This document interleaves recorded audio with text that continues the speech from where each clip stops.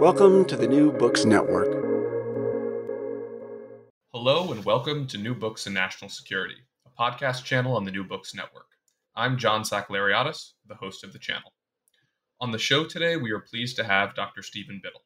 Dr. Biddle is a professor of international and public affairs at Columbia University, a member of the Arnold A. Saltzman Institute of War and Peace Studies, and an adjunct senior fellow for defense policy at the Council on Foreign Relations. In addition to his academic work, Dr. Biddle has served on the Defense Department's Defense Policy Board, on General David Petraeus' Joint Strategic Assessment Team in Baghdad, as a senior advisor to the Central Command Assessment Team in Washington, as a member of General Stanley McChrystal's initial Strategic Assessment Team in Kabul in 2009, among other government advisory panels and analytic teams. Today, we'll be talking to Dr. Biddle about his remarkable new book, Non State Warfare The Military Methods of Guerrillas, Warlords, and Militias. Dr. Biddle, welcome to the show. Thanks for having me. Dr. Biddle, security studies geeks have been anciently awaiting the latest Dr. Stephen Biddle book since 2004, when you published Military Power. Superficially, the difference between that book and this one are substantial. Military Power was about great power military methods in conventional combat, and non state warfare is about, well, non state actors. When and why did you begin thinking about non state actors?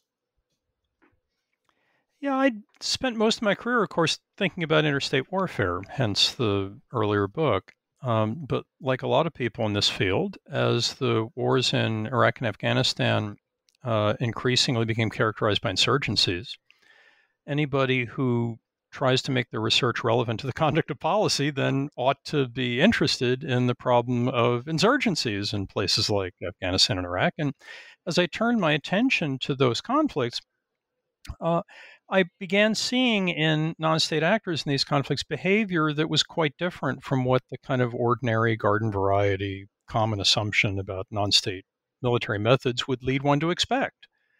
Uh, you know, for example, I'd done studies of the early putatively conventional phases in Afghanistan and in Iraq, but towards the end of the initial, more or less conventional phase in Afghanistan, there was this action uh, in Operation Anaconda in the Shahikot Valley of Afghanistan uh, in 2002, in which the United States thought it had found and cornered a collection of Al Qaeda terrorists. Uh, and so we, la- we mounted this fairly large scale uh, airborne infantry operation to encircle and destroy this, this terrorist hideout that we had discovered in the high mountain valley.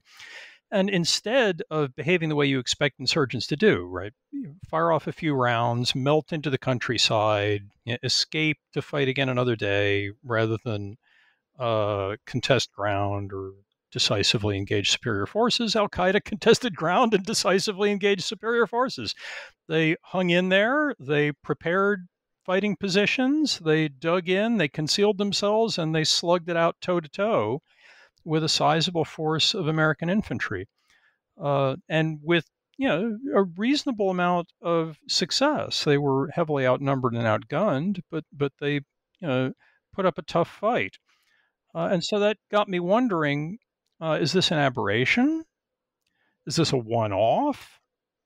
What is responsible for this? How common is it? Should we expect to see more of it? Uh, and that got me increasingly interested in this general issue of how does this other class of actor, not states and interstate conflict, but these non-state actors, you know, fighting either states or each other, and how do they behave and why do they behave that way?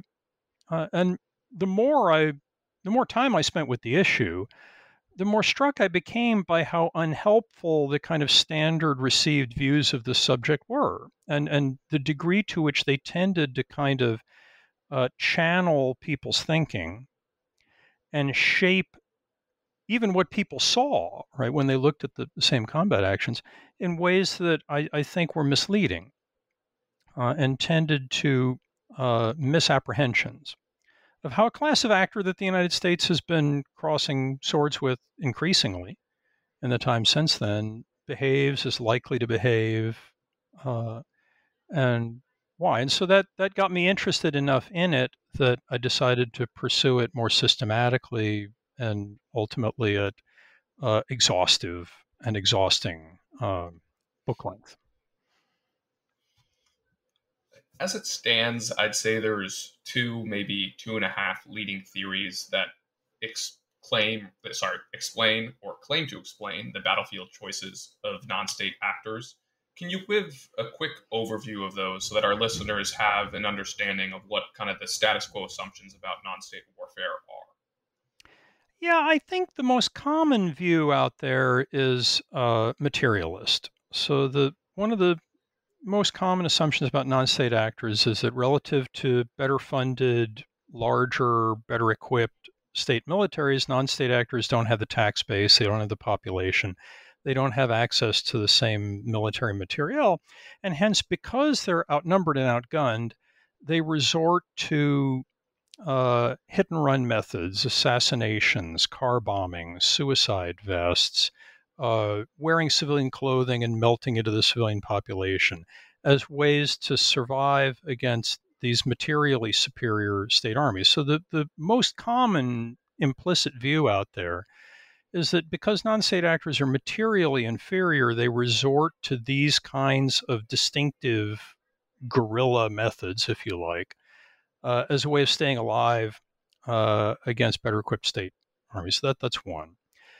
There's a subset of materialists um, that differ at the margin from the ordinary materialists. So the, there's a group that believes that material is what's basically driving everybody's behavior, uh, but there's new material coming down the pike for non state actors, you know, precision guided weapons, especially. And so there's a hybrid materialist argument that holds that these new precision guided high firepower weapons are enabling actors to combine high tech lethality with guerrilla tactics.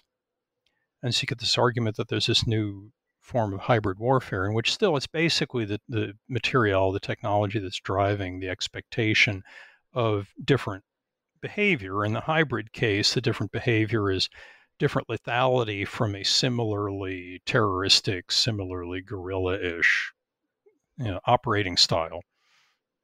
Now, in addition to materialists, there's also a view out there that uh, sees tribal culture as being at the heart of all this. And the tribal culture argument uh, holds that uh, many non state actors uh, are coming from uh, cultural backgrounds that emphasize uh, segmented lineage.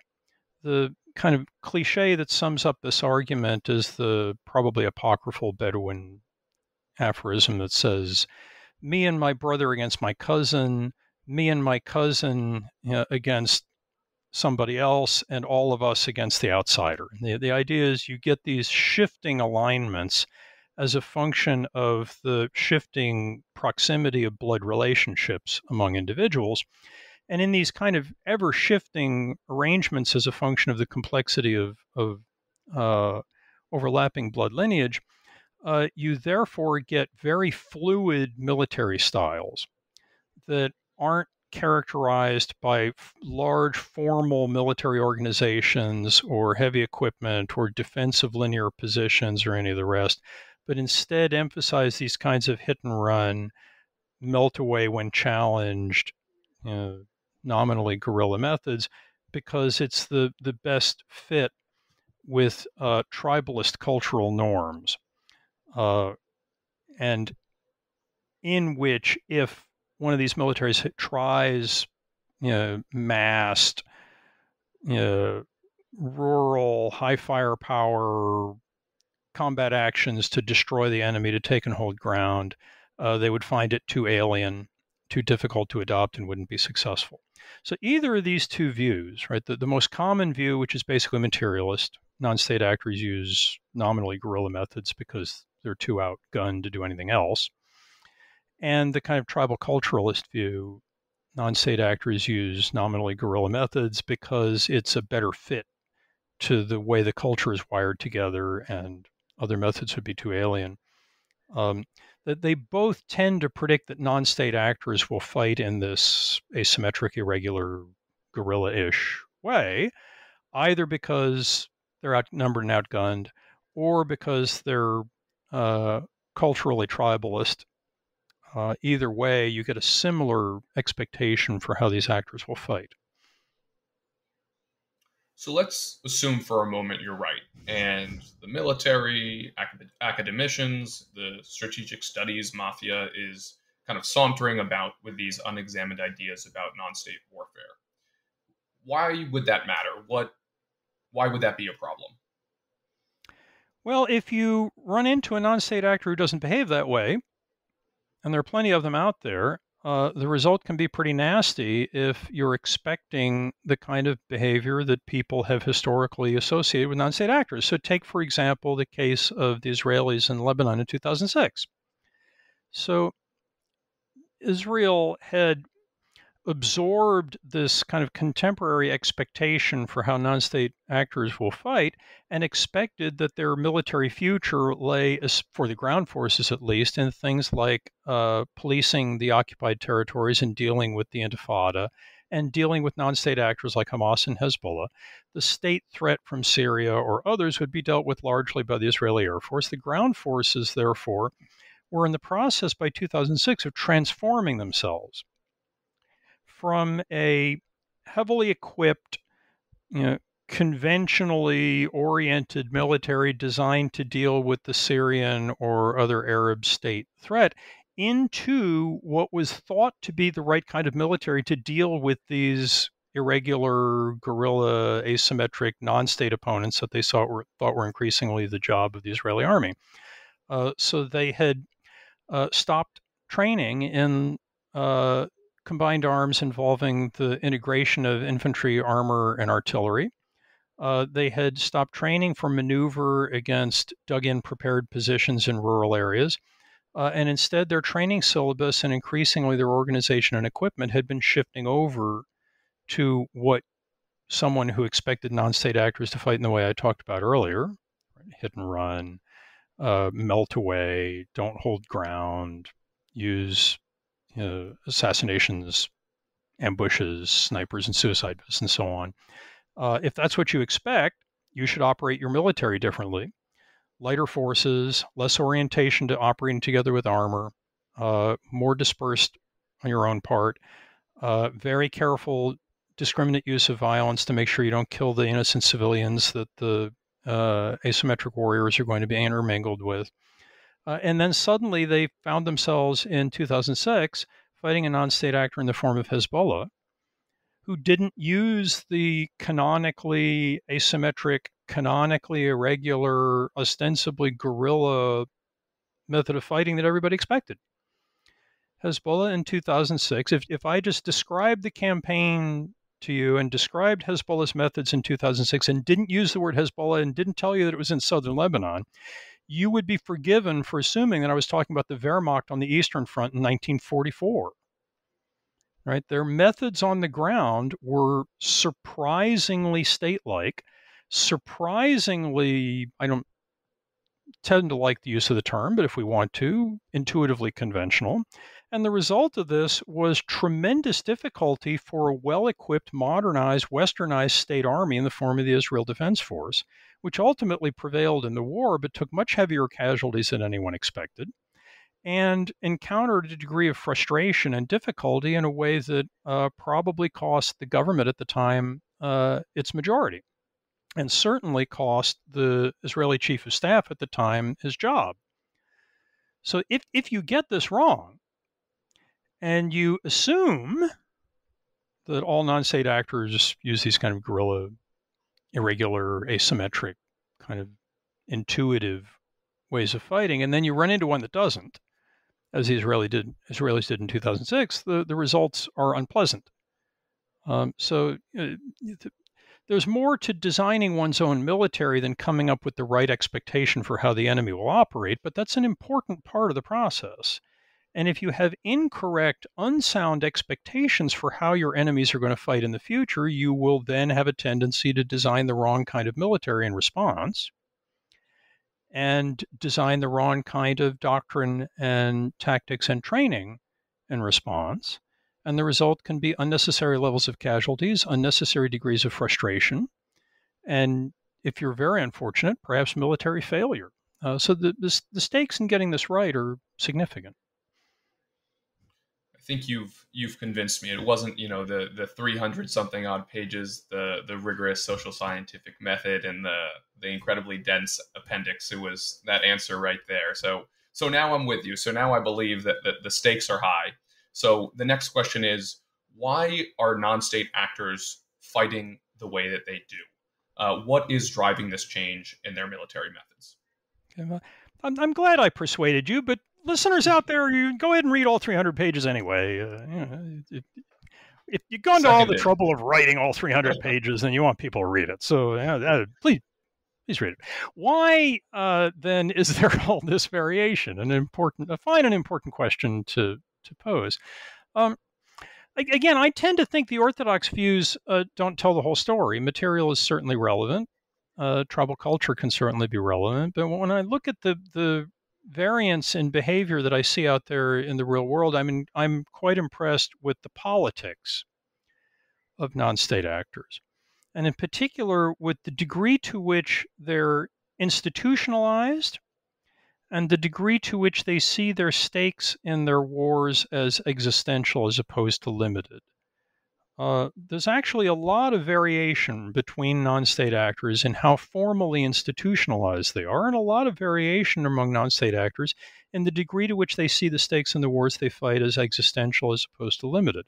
Um, consider, for example, uh, UNITA uh, in sub Saharan Africa, uh, which waged a long uh, insurgency that was oriented mostly around control of economic assets like diamond mines. Very little likelihood that the Angolan government was going to conquer and destroy UNITA and kill its leadership. Very little likelihood that UNITA was going to conquer the entire Angolan state. The war was about control at the margin of economic resources. These stakes are you know, reasonably limited. That implies uh, a limited degree of willingness to invest in expensive, complicated training. So if a non-state actor is going to fight the way Hezbollah did in 2006, right? you know, careful use of cover and concealment in rural terrain to uh, take and hold ground uh, and sustain defensive positions against you know, sizable state militaries. To do that effectively requires a very high level of skill and proficiency. That skill and proficiency can only be obtained by training. Training is expensive, partly because you expend fuel and ammunition and other resources, and partly because you're pulling people away from other things that might be economically productive for you in order to have them spend time training. If what you're fighting over is control at the margin of some economic resource where you're not going to be annihilated if you if you fail, you'll just get lower income. Then the business of expending vast amounts of money in training takes on a very different cast, right? The last thing you want to do in a war for economic benefit is spend more than the economic stake is worth. So, you know, non-state actors who see their stakes as limited have a disincentive to do the training investment required in order to use forces in a Hezbollah-like, you know, state-like way. Whereas non-state actors who think that if they fail, the leadership will be uh, arrested, imprisoned, and possibly killed have a rather different incentive for them. Training is worth it. we'll do whatever it takes, right? So stakes matter. The other part of the politics of non state actors that I argue matters a lot uh, in their uh, choices in how to operate is the degree of institutional maturity at their disposal. And the issue here turns on the requirement for complex cooperation among interdependent specialists, if you're going to fight in the state like, let's call it conventional, if you like, way that an actor like Hezbollah does. So, you know, for example, if I am going to take and hold ground in a sustained slugfest with a large, well equipped opponent, I need the ability to sustain uh, large volumes of ammunition expenditure. If I'm just a shadowy guerrilla engaging in quick hit and run ambushes, I can empty the magazine at the enemy, melt into the countryside, disappear, and be fine. Uh, that doesn't demand an extensive logistical system. That doesn't demand an infrastructure that can resupply me with ammunition after I empty the magazine in the general direction of the enemy and then bug out. If I am going to sustain a defense of a position in a slugfest against a large, well equipped state opponent, I need the ability to get resupplied with ammunition after I empty the magazine. I need the ability, especially, to engage in potentially large volumes of suppressive fire if I'm going to do things like fire and maneuver in defense of terrain. Um, if I'm going to maintain that position, I've got to maintain a high level of firepower that requires that I'm going to have to get resupplied by somebody else who's going to give me more ammunition if I've got vehicles, more food, more fuel. If I'm going to do this for a long time, maybe more food, more water. Who's going to do that? Well, in most militaries that have displayed the ability to fight this way, there's some specialist sub organization that does the resupply function that operates in thin skinned, vulnerable vehicles that are designed to have a large cargo load, but not to have a lot of armor protection or cross country mobility, the ability to slug it out with the enemy. Those people, in turn, the, the specialists in resupply, have to be able to defend depend on the specialists in shooting at the front to keep them alive in their thin skinned, high cargo capacity wheeled vehicles while they drive all this stuff forward for them. If the people at the front don't do their job and the enemy comes streaming through the lines, it's not a smart idea for me to drive towards the enemy in my cargo truck full of ammunition. Bad idea the people at the front have to be able to trust the resupply unit to provide the ammunition, or else the last thing I'm going to do is expend it all. Right? The people transporting the ammunition have to trust the trigger pullers at the front to protect them while they bring the ammunition forward. This degree of trust between mutually dependent specialists is really hard to do without some kind of institutional structure that creates a sustained interaction among large numbers of different specialists who develop the expectation that because the organization is reliable, I can depend on that truck showing up. And because I can depend on the organization and therefore I can depend on the truck showing up, I can therefore expend all of my ammunition to sustain my defensive ground because I can be confident that more is going to appear. If I am a non state actor for Hezbollah, for instance, in 2006, I can pretty much rely on this because I know that Hezbollah has a very formally developed institutional structure where there's a separate civilian organization and a separate military wing. The military wing has a separate intelligence and operations agency. The operations agency has specialized recruitment, combat action, indoctrination, and other functional offices. All of these organizations interact and do training over time so they get used to the idea that they can expect one another to function in the ways that you know you increasingly rely upon. And because of that enormous and elaborate and formal and long-lived institutional structure shooters at the front can for example trust logistic, logisticians in the rear to keep them resupplied. People who are doing fire support can trust the units that are doing maneuver.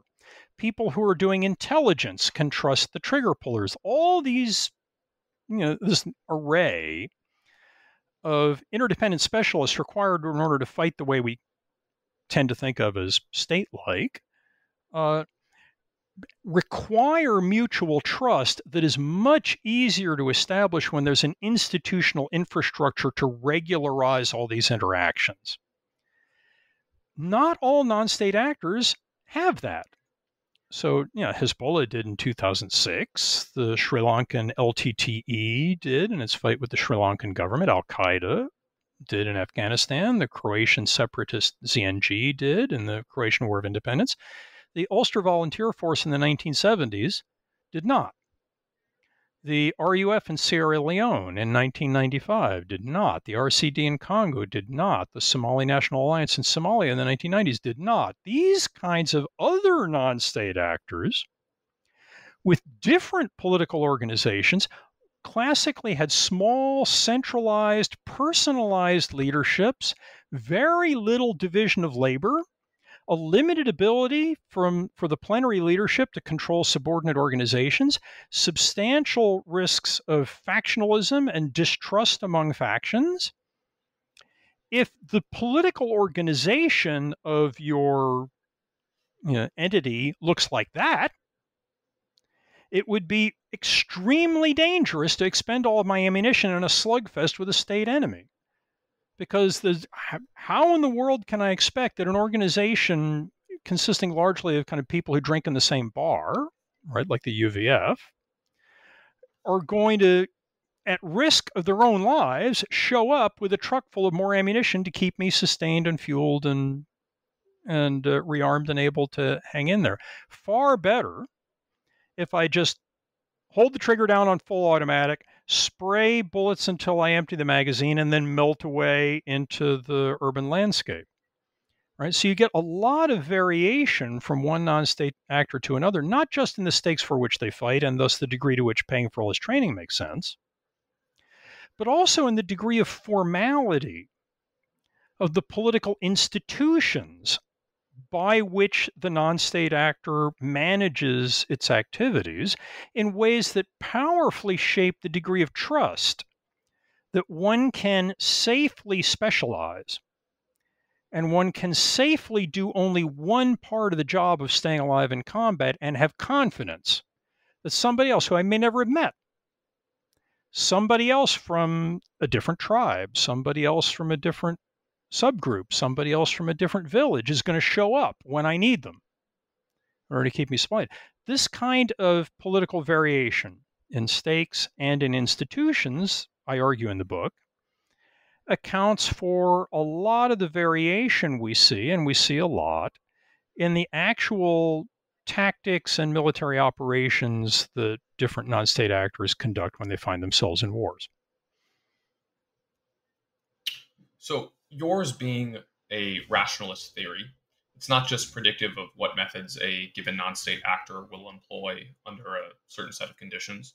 It's also explanatory of military performance when observed methods diverge from expected methods. Can you talk, talk about some of the examples you found in the cases that, that followed that pattern? Yeah, I mean, like most kind of soft rationalist theories, uh, mine operates on an assumed causal mechanism of selection effects that uh, non state actors don't sit around reading books and calculating the right way to use force necessarily, but they, they try things, and those that uh, make mistakes get removed from the system, either because they get killed or because their organization is destroyed or because they encounter bad results and try something else. And the ones that, that survive this selection process then kind of vector in over time on something that looks like the result of an explicit calculation, whether the actors involved calculated and correctly or not. If that's the case, then at any given at any given moment, most non-state actors will be behaving kind of way the, the way the book predicts, but some will be in the process of learning and some will be in the process of removal from the system for their errors. Uh, and uh, the book actually looks at one particularly, a case that I find particularly interesting, of the latter. Uh, the Croatian Serb uh, militia, the SVK, and the way they behaved in the latter years of uh, the Croatian participation in the Balkan Wars. The Croatian Serb SVK was characterized by an extremely weak institutional structure and by a belief that they faced limited stakes because they thought that the Yugoslav state army would reintervene in Croatia as it had in the early stages of the war to save them. Their kind of Serbian uh, sugar daddies in Belgrade would prevent them from being annihilated. And therefore, the war, in the view of the Croatian Serbian SVK militia, wasn't about survival and extermination. It was about, at the margin, how much of Croatia are we going to control and which of our various factions are going to get the upper hand. Uh, when we eventually get recognized by the international community, so they hoped and, and become a state. and because of this uh, limited perception of stakes and weak institutional structure, the book says the smart move, SVK, is don't try and fight the way Hezbollah did. Use methods more like the ones you see from the Somali National Alliance or, or other you know, actors whose behavior is closer to the kind of orthodox popular image of guerrilla warfare disperse, intermingle with the civilian population, rely on hit and run methods, don't stand in the defensive ground. Uh, that's not what they did.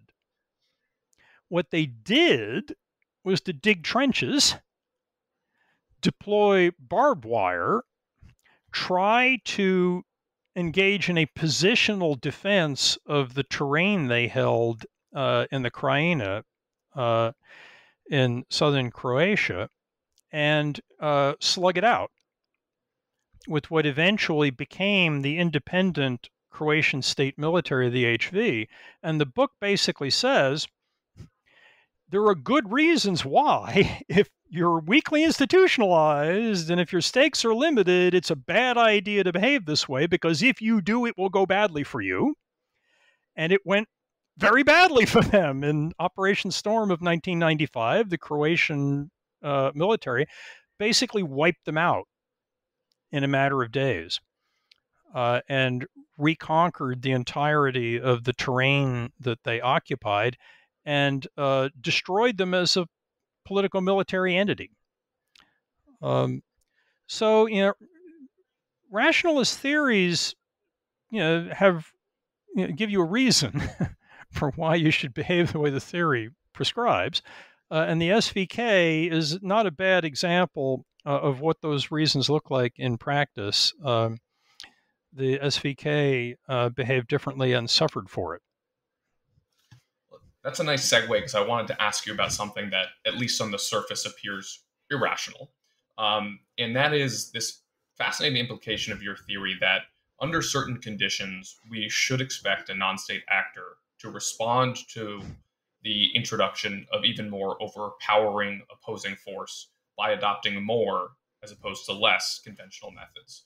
And that flies right in the face of some of the major materialist theories of non state military methods. Can, can you talk about that a little bit, perhaps with reference to Somalia in 1993? Sure.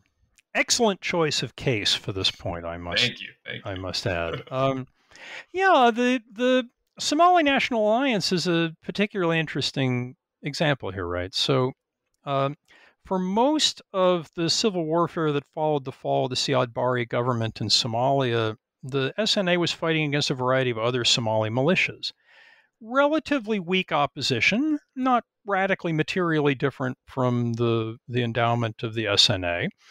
Um, you would expect, if you were a materialist, that an actor that was not at a major material disadvantage would be inclined to use, you know, ostensibly conventional methods.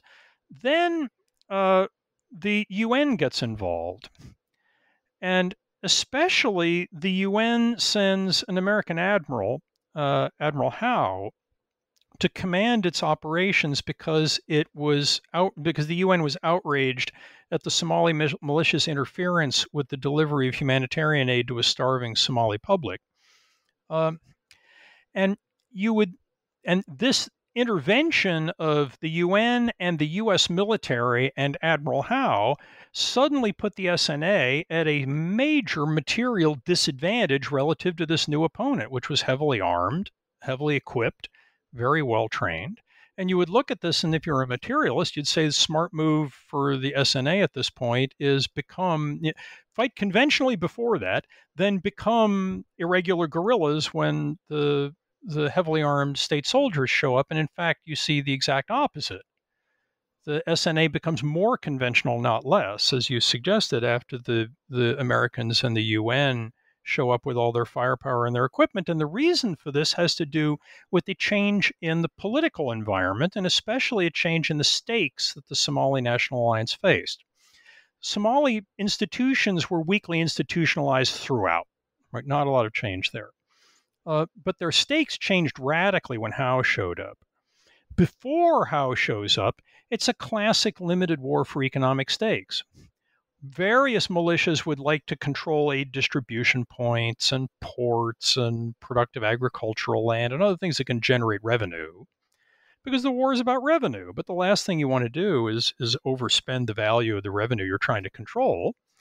When Howe shows up, however, Howe immediately declares as a war aim the arrest and imprisonment of the Somali warlords that are outraging him and the West by their interference with these aid flows. And so Howe starts literally putting up wanted posters all over Mogadishu, demanding the arrest of Muhammad Farah Aidid.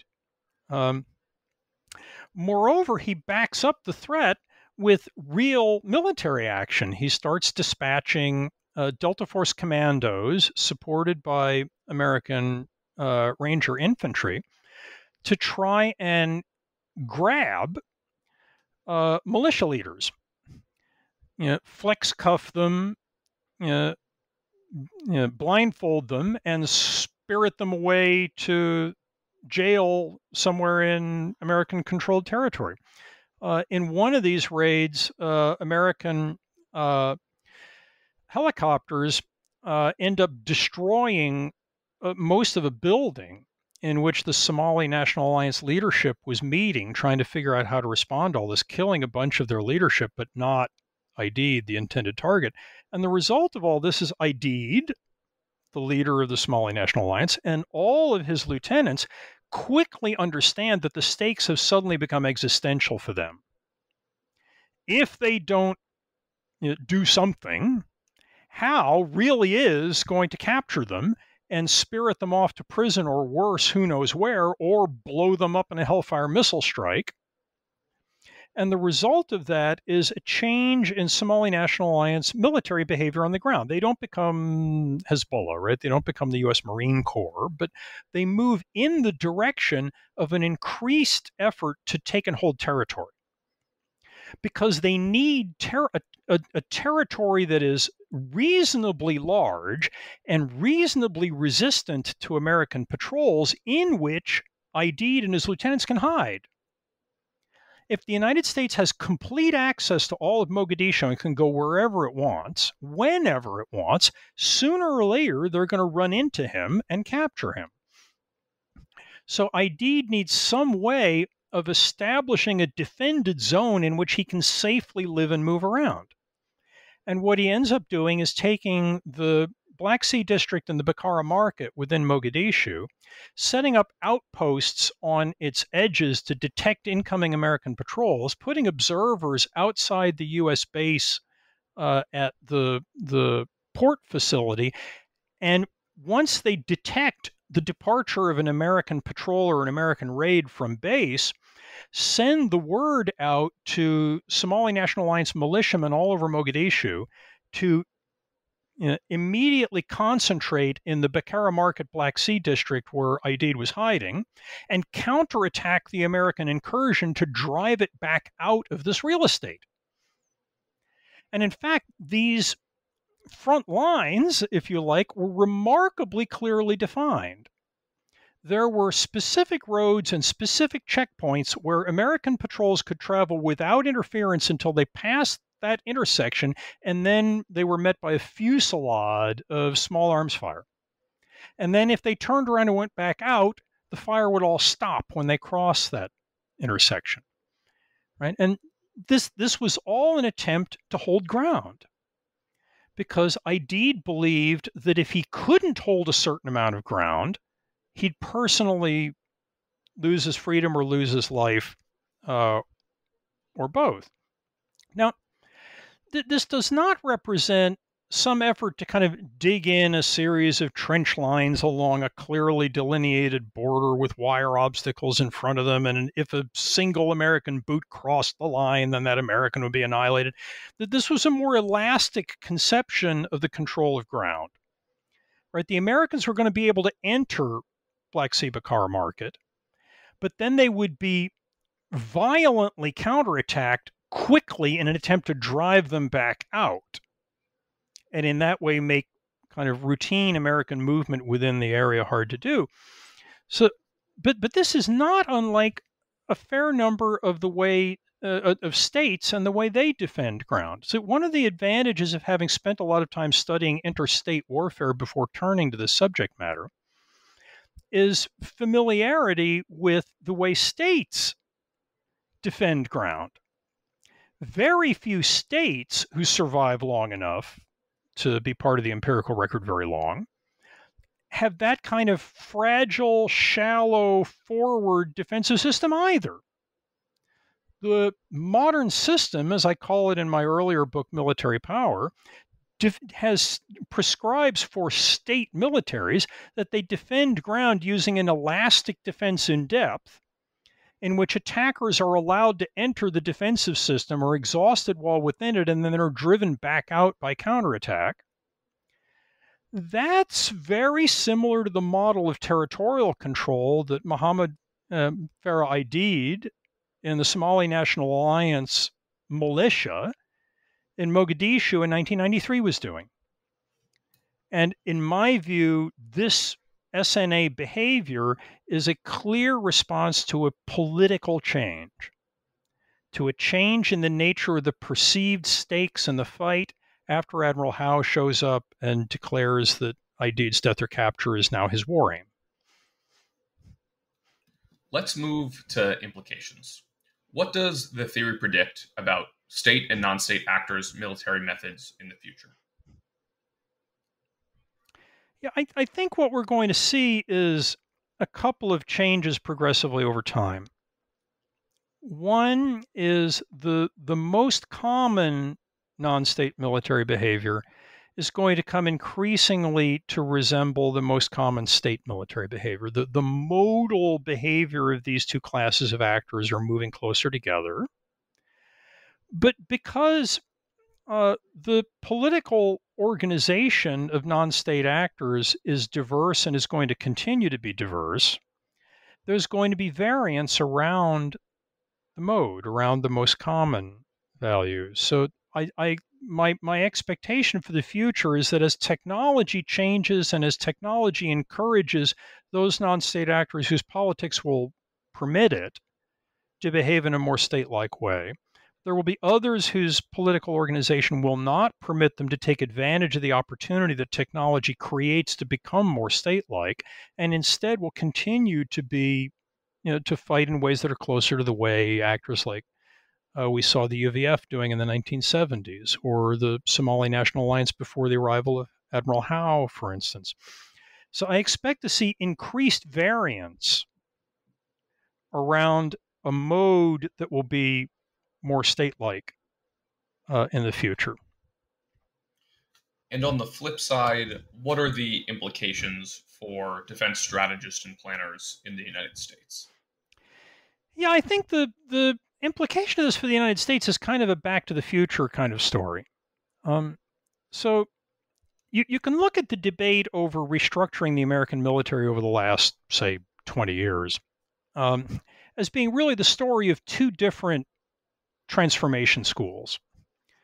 Right? The, there was one argument that says that we need to radically redesign the U.S. military uh, because there's been a big change in technology. Right after the 1991 Gulf War, the view that new uh, sensing uh, and precision guidance and networked information technologies uh, were transforming war and we should therefore transform the American military to respond to this. And the nature of this high tech transformation's implications for the U.S. military is more capital, less labor. Get out of the close combat business, shrink the end strength of the U.S. Army and the U.S. Marine Corps, shift resources toward the Air Force and the Navy, and to some extent the special forces uh, combatants that act as target acquirers for these sources of standoff precision firepower that new technology is empowering and enabling. So, you know, get out of the close combat business, shrink the ground forces, less labor, more standoff precision, air power, more capital. As the insurgencies in Iraq and Afghanistan ginned up in sort of 2004 ish, 2005 ish, the future warfare debate stood on its head and there was a new transformation argument. And the new transformation argument is that warfare is being transformed not by new technology, but by new opponents. The opponents of the future are going to be these non state actors. And because we all know that non state actors use irregular, asymmetric, guerrilla methods, the last thing we want is more capital and less labor. We want more labor and less capital. We want a larger Army and Marine Corps. We want less heavy equipment in the Army and the Marine Corps. We want to emphasize not speed and standoff precision, but persistent population security. Right? And, and so you get precisely the opposite argument that we should completely transform the military. I mean, radically change it relative to the kind of balanced force of you know, long range firepower and close combat and heavy equipment and dismounted infantry that the legacy military had. The, the first transformation argument says, ah, get rid of that old dinosaur legacy military. It's got too much infantry in it. The new transformation argument says, ah, get rid of that dinosaur old legacy military because it doesn't have enough infantry in it. the, the argument in the book implies that the legacy dinosaur military actually doesn't look that bad because it's got a mix of some firepower, you know, some you know, long distance standoff capability, some armor and heavy equipment, some infantry of the kind that you would expect might be useful for dealing with situations like you know, Hezbollah in Lebanon in 2006, an opponent who uses cover and concealment in the terrain uh, to sustain defense of positions and requires combined arms, know, firepower and maneuver with careful use of terrain for cover and concealment to overcome. You you want a mix of friendly capabilities to deal with that situation. The kind of standoff precision military that high tech transformation advocates want has a lot of trouble against that kind of target set because its use of the complexity of the Earth's surface for cover and concealment makes it very hard for standoff precision to find targets to precisely engage. This is an argument that I made at length in the earlier book, Military Power. Um, for this kind of opponent, you don't want a high tech transformation model because it leaves you without enough close combat capability to deal with opponents of you know, Hezbollah ish behavior that can cover and conceal themselves too well. But neither do you want the kind of military that the low tech transformation school advocates because it lacks the firepower that you need to deal with these dug in opponents who are trying to contest the control of ground. What you want is a mix, something that looks more like kind of a medium weight force that is not hugely different than the American military of the later years of the Cold War. Um, so I, I think there's a good reason to believe that both of the visionary, forward thinking, out of the box transformation arguments in you know the debate of the last 20 years are optimized around styles of, oppo- of opposition that are probably going to be less frequent in the future and not more. The high tech transformation school is optimized against exposed enemies who don't exploit the complexity of the Earth's surface for covering concealment, which can be found and destroyed by standoff weaponry. Those are becoming less common, the book argues. The low tech transformation argument would optimize the US military against the exact opposite sort of behavior the highly irregular, highly asymmetric, highly guerrilla kind of opposition that the book argues is not going away, but is also becoming relatively less common in the future. So it you know the the, the forward looking outside the box ish types are both oriented towards backward looking views of how the enemy is likely to fight. I, I think a, an appropriately forward looking view of how the enemy is going to fight would suggest a military that's a lot less different than the old fashioned legacy dinosaur military that everyone loves to hate uh, than people suppose. Well, I'll move now from the very practical, very high stakes to the world of academia. Uh, the book as a whole is a very convincing argument against the validity of the categorical distinction between state and non state uh, military methods. Yet you ultimately insist that your theory does not necessarily apply to states. And I understand why, as a careful and thorough academic, you're not ready to make that claim. Uh, but I'd love to push you for what I suppose is your unscientific opinion on the likelihood of whether this theory does apply to states, and to the to the extent that it doesn't, what are your initial thoughts on kind of candidates for competing variables that you know future scholars should consider uh, as they try to uh, develop a state-focused theory of military methods? Yeah, I mean, I, I think there are elements of this argument that uh, travel well into the world of interstate warfare. So, stakes, for example, are very likely to shape the degree of state investment in training as they shape non state investment in training for similar reasons. Um, there are variations in the institutional maturity of modern states. Uh, some states have well established uh, institutional architectures for adjudicating conflict among armed elites and preventing lethal factionalism, others much less so. Um, and that uh, probably goes a fair way to explaining some of the more important variation in the performance of different state militaries in the world today, for example. So consider, um, for example, uh, Ba'athist Iraq under Saddam Hussein, the institutional weakness of the Iraqi state and the radically conflictual nature of civil military relations that created in Iraq probably had a lot to do with the Iraqi military's difficulties in interstate putatively conventional warfare against the United States in 1991 and, and 2003. Uh, if Saddam Hussein had allowed the degree of autonomous, uh, independent decision making by low level commanders who are going to rely on and trust other specialists within the Iraqi military that you would need in order to fight the way I've been describing as the, the preferred method for states, the odds that they decide that they ought to change who's running the country and assassinate Saddam Hussein go way up.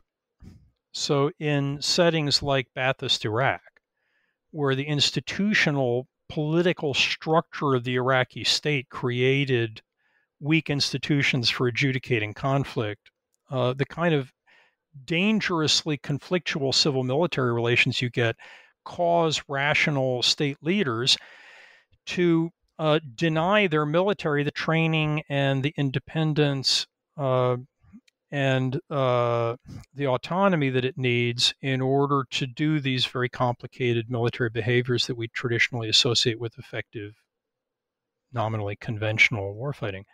Um, another good example might be the current Afghan national security forces, where uh, weak state institutions for adjudicating conflict among multiple armed elites creates a requirement that a weak civilian leadership internally balance and that they uh, make sure, for example, that the uh, new state military doesn't get strong enough or proficient enough or uh, uh, professional enough to threaten the dozen to two dozen warlords around the country. And the best way to do that, of course, is corruption and cronyism.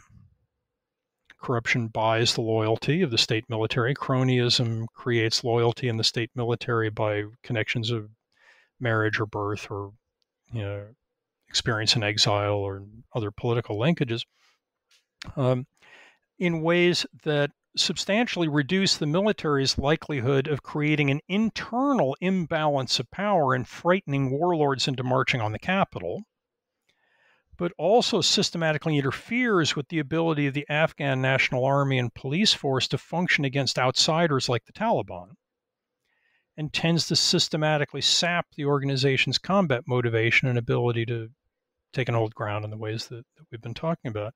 Uh, so there are a variety of, of examples out there where some of these same variables that I argue shape non state behavior, stakes and strength of institutions, uh, look like they're likely to help us understand variations in the way states, rather than just non state actors, use military force, that said, the range of variation that you encounter among states overlaps but is different from the range of variation you encounter in non state actors. So there may be other variables that we would need to bring into the conversation to do an adequate job of explaining all of the variants we can observe in interstate warfare. So, for example, um, Caitlin Talmadge, a professor at Georgetown, has recently written an outstanding book, The Dictator's Army, that talks about the nature of threat perception as an important variable in shaping the behavior of state militaries, where a, a regime in a place like Iraq, for example, believes that the primary threat to its survival is internal in the form of armed sub elites or coup d'etat from the military, then the state will prevent its own military from becoming proficient in these conventional military methods but if you then get into a war with the Iranians, in which the Iranians declare as their war aim putting your personal head on a stick, if you're Saddam Hussein, and it looks like they might win the war, then relatively speaking, now I'm more worried about the Iranians than I am about my own officer corps. And Professor Talmadge argues the uh, military structure in the Iraqi state will shift and the regime will allow the military the autonomy and the training and the resources and the capacities that it needs in order to build the ability to fight effectively in this kind of conventional uh, idiom. Um, so, you know, the, there are, it, it, it's not necessarily the case that the theory in non state warfare tells us everything we need to know about interstate conflict but I think it tells us some of the things we need to know to understand interstate conflict. And I think this idea of treating states and non state actors as special cases on a, in a broader theoretical relationship is one that has important potential. If any of you out there are thinking of doctoral dissertation topic choice, for example, uh, this strikes me as an interesting opportunity for new research to what extent uh, are the shapers, the determinants of state military behavior, similar to or different from the shapers and the determinants of non state military behavior, given that both of them are taking place against this underlying context of the rationalist incentive structures that operate in the selection mechanism of war in the presence of changing military technology. One kind of wild card potential illustrative question that struck me to help explain the convergence in the military methods of non-states and states. Uh, I was thinking as I was reading this book of how you would code at a unit level something like JSOC during the Iraq War. I mean, I don't know if that is something you're not willing to do, given that it is not officially it's a non-state actor, it is a subunit of a state military. But at least theoretically, to me, it, it seems like a very illustrative example of how states are also adopting these or incorporating these methods that I think if you coded them with your system would look very uh, Fabian in uh, disposition and conduct. Yeah, let, us hope that JSOC doesn't become a non-state actor. Um, th- there are those who think the American Special Forces community is off the reservation. Uh, I'm not quite as far as that. Uh, so I, am I'm, I'm prepared. I have great confidence that, that JSOC will remain an instrument of the American state. Uh, that said, your your underlying point has something to it. I mean, uh, if you look back at that earlier book that had military power, where I made the argument that a particular way of using force, what I called the modern system, uh, emerged out of a tough uh, process of natural selection in the trench stalemate of the First World War and has become you know, important to success and failure on the battlefield in more than a century of subsequent military experience. And ask, what does it look like? In an important sense, it looks like conventional state militaries changing their behavior to get closer to what we have historically intuitively thought of as the way guerrillas fight. Taking concentrated massed formations in the open and dispersing them, sacrificing some degree of massed firepower in exchange for cover and concealment in the terrain, not putting up a you know, stone curtain wall castle and preventing one enemy foot from crossing the line, but but operating a more elastic style of defense in which you allow the enemy to take some ground while you counter concentrate and then counterattack to throw them back out again, in which you're operating more fluidly over the ground rather than rigidly defending every inch of the ground to the last cartridge.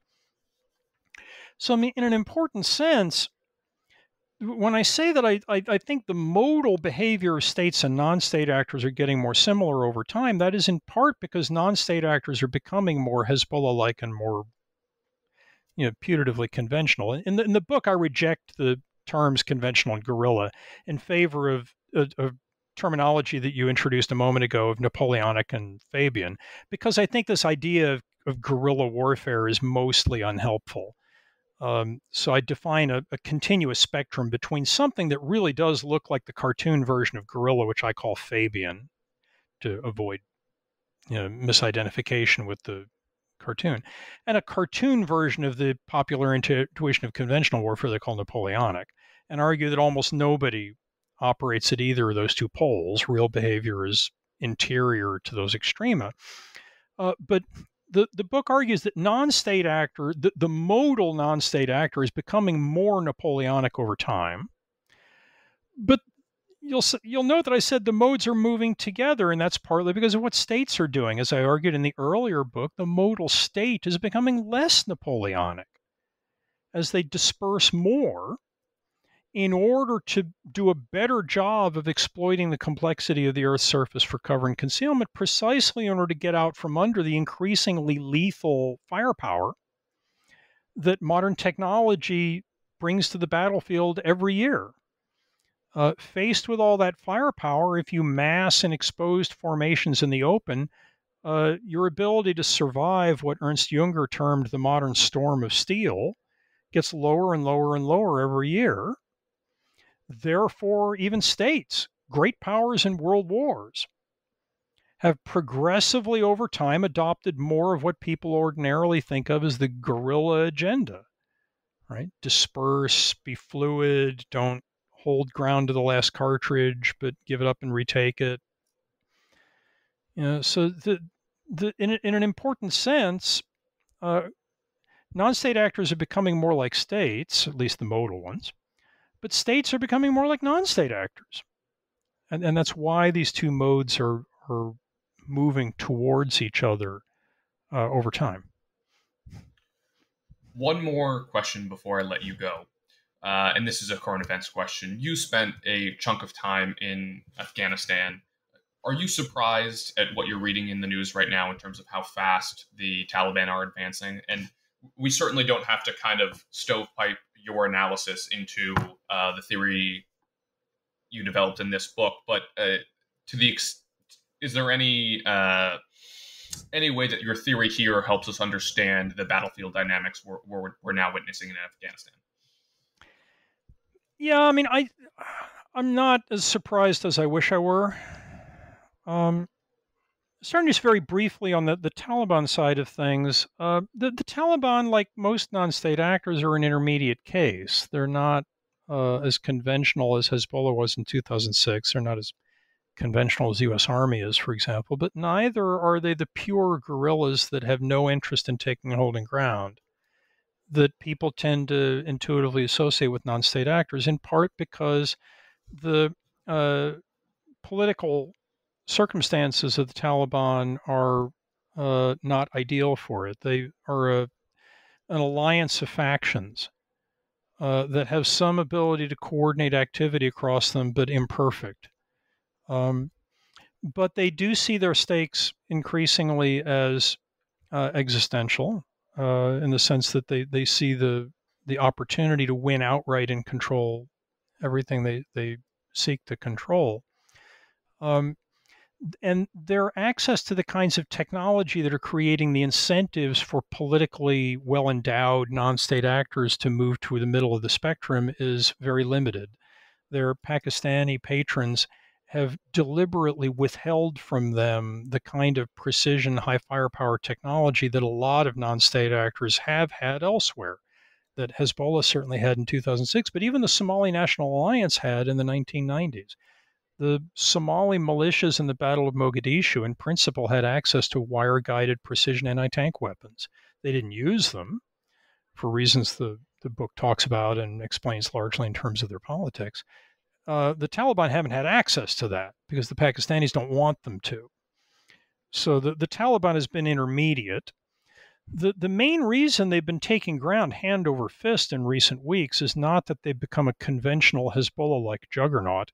It's because the state military forces are laying down their arms and giving up. Uh, and either going over to the Taliban or disappearing into the population or crossing the border into neighboring countries. And that is an issue that, that's bound up centrally with the problem of combat motivation in a weakly institutionalized state. I, I hinted at some of this earlier in our, our talk. Um, I'm, I'm very impressed with the connection between the political organization of an actor and its military behavior. The things that the political structure enables or makes impossible or discourages.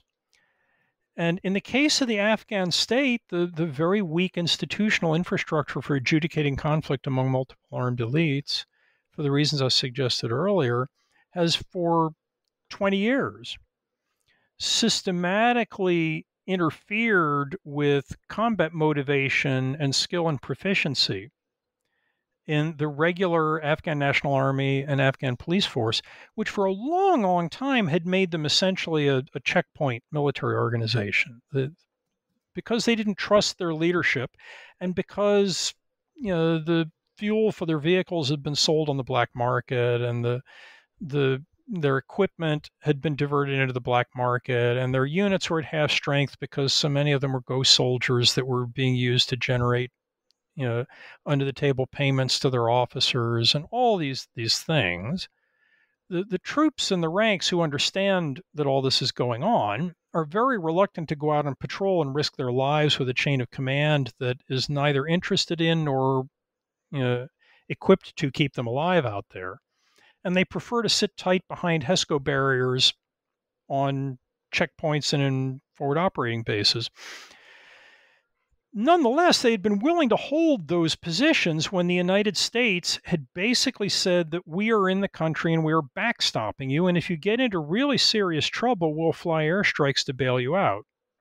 Uh, when the Biden administration announced a total withdrawal from the country in April, that changed all those expectations. A. B, pretty quickly created a fear in much of Afghanistan that the jig is up, that if the Americans are leaving, the situation is hopeless. And combat motivation in war uh, is subject to uh, serious contagion dynamics. Um, if I am in my foxhole defending my position uh, against the Taliban or whomever, and I believe that the rest of my unit is in their foxholes defending their positions. The smart self preservation choice for me is stay in my foxhole and continue to resist. If I can do that and keep them from overrunning us, I'll live. Whereas if I get up out of the foxhole and run away, I risk getting hit in the back once I've abandoned my cover. So if you think everybody else is going to stay in there, it makes sense for you to stay in there. But if you think everybody else is going to bug out, now me against the Taliban army, right? They're going to overrun me and kill me for sure if I stay where I am. If I get up and bug out, there's some chance I might get shot in the back, but there's some chance I might get away. So a lot of combat motivation has always depended on everybody's beliefs about everybody else this is part of the reason why institutions matter so much, right? Is they tend to create trust and you know expectations about how others will behave based on repeated patterns of behavior shaped by organizations and institutions. Um, when the U.S. announced nationally a withdrawal date, that was a big signal to everybody in Afghanistan that you should start worrying about how everybody else is going to behave because everybody else heard that announcement too. And the minute units started surrendering, that just confirmed the fear for everybody. And this thing became a snowball rolling down the hill. every after the American announcement of withdrawal and this kind of uniform message to Afghans that something dramatic has just changed and badly, every surrender increases everybody else's fears that everybody else is going to surrender, which increases everybody else's proclivity to surrender, and the thing just builds on itself. And as a result, this, this, massive advance that the Taliban have made in recent weeks is not because they're annihilating Afghan National Army units in combat. It's because the Afghan National Army is laying down its arms. This is a this is a crisis of combat motivation. And it's a crisis of combat motivation that has its roots in the political structure of the Afghan state. This isn't because Afghans are cowards. This isn't because some discrete set of leaders you know, have been uh, morally deficient and self interested. That this is a reflection of deep structural features in the institutional design of the Afghan state. I might just add that this is an Afghan state that we set up. There is a huge ongoing tendency to shift the blame for what's going on onto the Afghans right? If, if they really cared about their country, they'd defend it. Well, I mean, that's an awful tough ask of an individual who's worried also about his own survival and has suddenly different expectations about the behavior of everybody else, and whose entire military career in the Afghan National Army has been shaped in a culture of, co- of corruption and cronyism. That's a reflection of an institutional structure that the West designed for them we created the need for internal balancing in Afghanistan when we did not disarm Afghan warlords after the Taliban fell in 2001. The Afghan constitution of 2004 was set up in a conference of Westerners. Right? We are implicated up to our eyeballs in the structure of this state and the consequent inability of that state to field uh, powerful military instruments. So, I mean, obviously, the Afghans have to do the fighting, and they've been doing a lot of fighting and doing a lot of dying, actually, over the last few years. Their casualties incurred in this war have radically outstripped ours. Um, and, you know, they do bear responsibility for defending their country and their society and their value structure but they're doing so within a political structure of institutions that creates powerful constraints and powerful incentives for the behavior of rational people who are living in that society and confronted with those institutions that we've seen work out similarly in a variety of other settings. And as the organ as the, the outfit who created those institutions, we bear some responsibility for this. But anyway, I, I, am I surprised that the Afghan National Army is losing ground as rapidly as it is? No. Um, do I wish that the Biden administration had not announced a withdrawal? Yes. Not because I think we should stay there indefinitely, or not because I think we could somehow defeat the Taliban militarily, but because war termination in a weakly institutionalized political system like this, especially, is profoundly a matter of negotiation and settlement. I happen to think all wars terminate in settlements, by the way. Explicit sometimes, tacit other times. But especially in this setting, if the if there was going to be an outcome to this conflict other than a Taliban takeover, it was going to have to happen through a negotiated settlement. Negotiations have been ongoing the Biden withdrawal announcement a radically undermined the prospect of negotiating success by, success by handing the Taliban a good fraction of what they wanted. A lot of our remaining leverage was our ability to promise a withdrawal of American forces which the Taliban badly wanted only in exchange for a settlement of the war. We then gave them that unilaterally. Um, and radically demoralized the Afghan National Army, making it hard for them to hold out long enough for any meaningful negotiations to reach fruition. So I'm, I'm not surprised by what's happening, and I'm not a big fan of the withdrawal announcement that I think catalyzed a change from weak motivation that produced a very gradual loss of terrain into a collapse of motivation that, that's causing you know, massive changes in the control of terrain.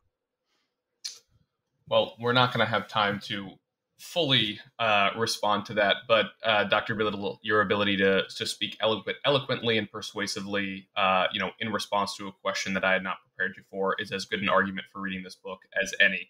Um, so thank you so much for coming on the show, and uh, you know, I urge all of our listeners to uh, pick up Non-State Warfare. You won't regret it.